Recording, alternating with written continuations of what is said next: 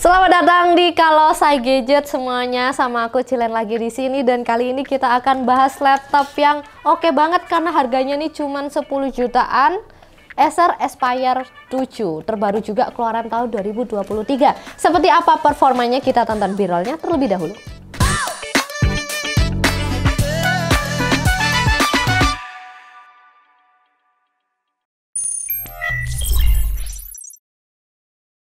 Acer Aspire 7 dengan Intel Core i5 12450H, RAM-nya itu sudah 8GB DDR4 dan SSD 512GB. Ini juga dilengkapi dengan GTX 1650 dan di tiap paket pembelian kamu udah dapat Windows Plus dan Office Home Student 2021 yang garansinya itu 3 tahun layanan, 2 tahun spare part dan 1 tahun ADP.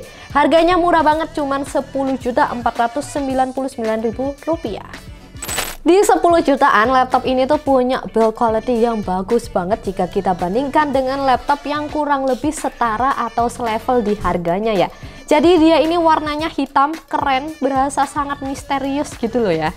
Terus cover depannya tuh aluminium, yang sisanya tuh polikarbonat.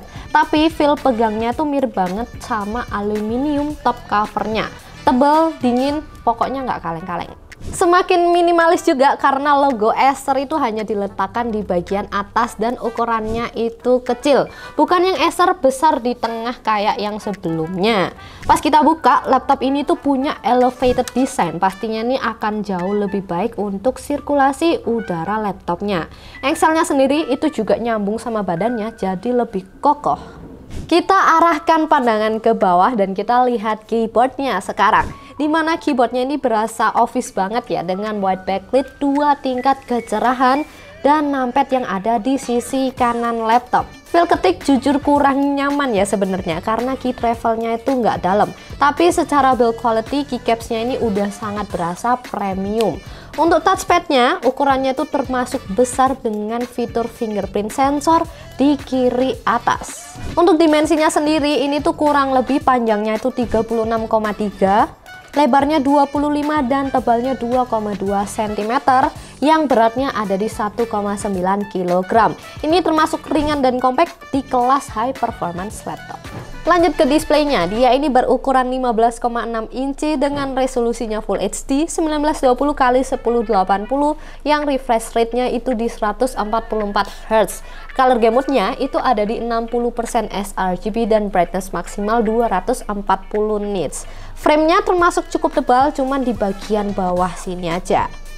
Overall layarnya ini udah lebih dari cukup untuk penggunaan sehari-hari. Meskipun jujur agak kurang terang ya jika digunakan di tempat yang cukup terang.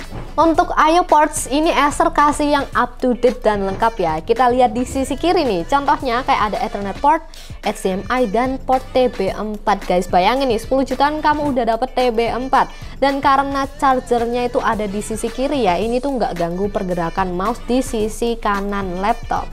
Di bongkarannya sendiri kipasnya itu ada dua, nempel di sisi kiri atas atau daerah backspace dan numpad. Dan di kanannya itu ada slot RAM dual channel yang sudah diisi dengan RAM bawaan 8GB DDR4 3200 MHz upgradable sesuai dengan kebutuhan. Dan di bawahnya itu ada slot SSD NVMe PCIe 512GB yang masih ada satu slot kosong juga Besti. Jadi ini bisa di-upgrade tanpa mengganggu SSD bawaan. Yang kecepatan read dan write bawaannya itu juga cepat ya, ada di 4800-an dan 4100-an. Lanjut ke baterainya ya, dia ini berkapasitas 3550 mAh atau 54 watt hour dengan adapter yang cukup besar 135 watt yang di PC Max 10 Modern Office backlit Wi-Fi off kecerahan layar 50% mode di balance dapat di 6 jam 56 menit dan jangan lupa beli laptop di Kalosa karena lagi ada Kalosa Shopping Surprise volume yang ketiga. Total hadiahnya itu 100 juta rupiah. Kapan lagi kan beli laptop dapat hadiah kalau nggak di Kalosa Store? Informasi lebih lanjut tonton videonya sampai habis. Di fiturnya secara konektivitas dia ini sudah pakai modul Wi-Fi 6E dan Bluetooth 5.2. Terus dibarengin juga nih contohnya kayak software Acer Care Center untuk monitoring tipis-tipis dan Acer Purified Voice untuk setting noise cancellation. Dan nggak lupa nih, ada juga FNF untuk atur performa laptop. Dan berikut ini adalah penampakan webcam laptop Acer Aspire 7 Resolusinya itu 720p 30 fps. Overall ini udah banget di kelasnya 10 jutaan, udah pas juga untuk nemenin online conference di mana di sini hanya terlihat ada F4 untuk matiin mikrofon. Teman nggak ada shortcut untuk untuk matiin kamera ataupun shutter web kamera secara fisik. Lanjut kita lihat prosesornya di mana kayaknya kalian juga udah cukup familiar ya.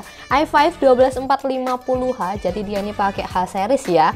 Alder Lake 8 core 4 T-core dan 4 E-core. 12 thread yang base power ada di 45 watt. Kita lihat pengetesan pertama di R15 R15 dapat poin di 1683 lalu R20 single core 637 dan multicore 4271 R20 10 kali rata-ratanya dapat di 4118 yang suhunya itu rata-rata di 52 dan maksimumnya 66 derajat Celcius.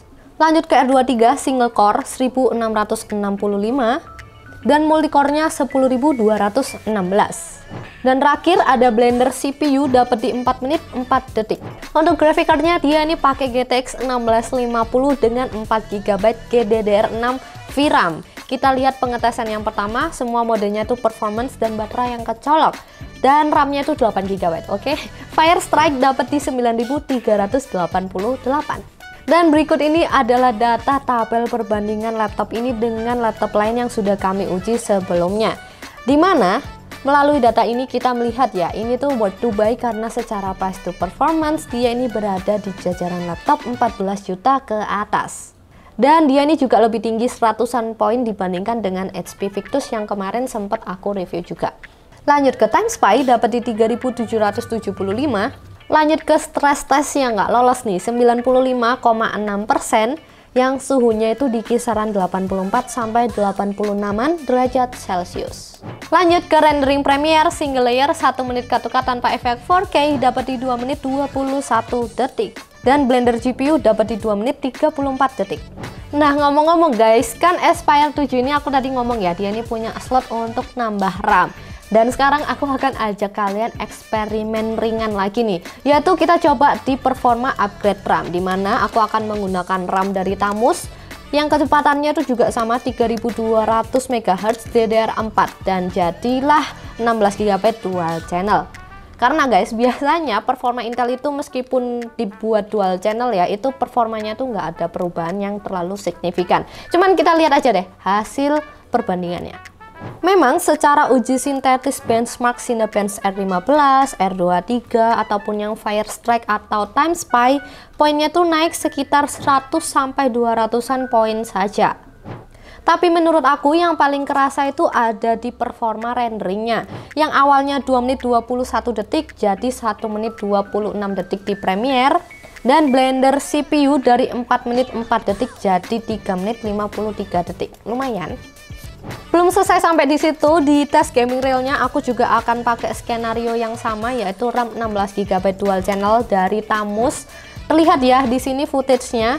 Performanya itu udah aman banget. Entah kamu main CSGO ataupun Dota 2 di setting rata kanan ini semua bisa di atas 100 fps dan untuk game seperti Far Cry 6 aku cobain di setting low ini bisa dapet di 70 fps sudah oke okay banget. Performa yang meningkat dari laptop ini juga dikarenakan RAM yang berkualitas guys. Contohnya ya dari brand Tamus ini. Jadi sedikit perkenalan ya brand Tamus ini tuh adalah brand yang asalnya dari Korea Selatan Besti yang didistribusikan langsung oleh PT Primalayan Citra Mandiri. Kalian juga bisa lihat di packagingnya sini dan dia ini juga tertulis garansinya tuh ada lima tahun. Intinya lama dan juga pastinya trusted karena udah legal didistribusikan di Indonesia. Jadi nggak ada salahnya kalian kepoin brand Tamus. Kalau emang kalian lagi cari memori modul entah RAM ataupun SSD boleh banget lah. Harganya juga pastinya affordable.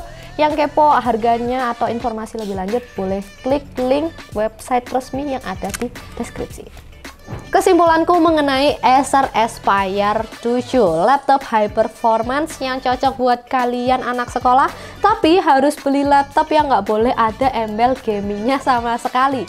Karena ini memang laptop definisi udang di balik batu kali ya. Karena desainnya tuh minimalis modern trendy tanpa RGB yang meriah terlihat seperti laptop pada umumnya tapi performanya itu kenceng layaknya laptop gaming.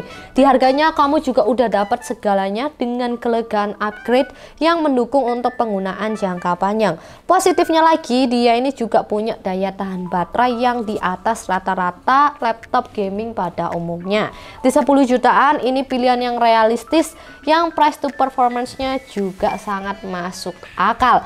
Cocok cocok deh buat kalian yang memang on budget tapi perlu laptop yang kenceng. Wajib banget pertimbangin laptop Acer Aspire 7 ini.